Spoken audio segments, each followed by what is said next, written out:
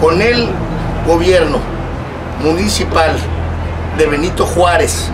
se han prestado para la reelección de una mujer que le ha quedado a deber a este pueblo, que han sido constantes las denuncias, pero también las pruebas de la corrupción desmedida que se ha vivido en este municipio y que quieren seguir gobernando, pese a que en todas las encuestas que no han sido pagadas y que no se publican en los medios de comunicación como una inserción en donde es clara hoy la caída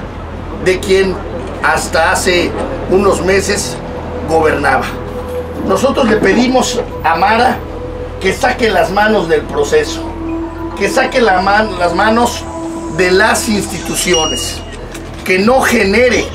con los niveles de gobierno que se encargan de la impartición de justicia un clima más de polarización que solamente beneficia a que no salga la ciudadanía a participar. Esto es la crónica de una muerte anunciada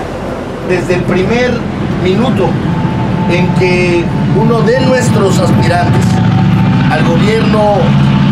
al gobierno municipal decidió emprender la lucha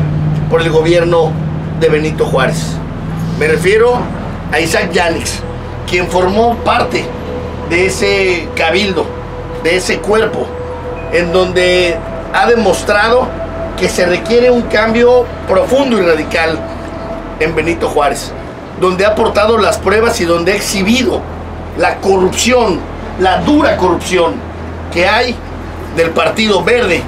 en el estado de Quintana Roo.